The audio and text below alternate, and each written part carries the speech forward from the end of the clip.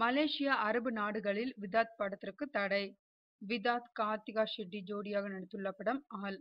அரவிந்த் கிருஷ்ணா இயக்கியுள்ளார். இப்படத்தின் தயாரிப்பாளர் விடியல் ராஜ் வில்லனாக நடித்துள்ளார். இப்படம் தமிழகம் முழுவதும் வெளியாகி ஓடிக்கொண்டிருக்கிறது. ஆல் படத்தை மலேசியா மற்றும் அரபு நாடுகளில் வெளியிட தயாரிப்பாளர் விடியல் ராஜ் திட்டமிட்டார். படத்தை பார்த்த அதிகாரிகள் முஸ்லிம்களுக்கு எதிரான கருத்துக்கள் இப்படத்தில் இருப்பதாக கூறி அனுமதி மறுத்து ரிலீஸ் செய்ய தடை விதித்துவிட்டனர். இது குறித்து விடியல்ராஜ் கூறும்போது, இந்தியில் வெற்றி பெற்ற அமீர் என்ற படத்தை ஆல் என்ற பெயரில் ரீமேக் செய்துள்ளேன். இது தரமான படம். முஸ்லிம்களுக்கு எதிரான கருத்துக்கள் எதுவும் இப்படத்தில் இல்லை.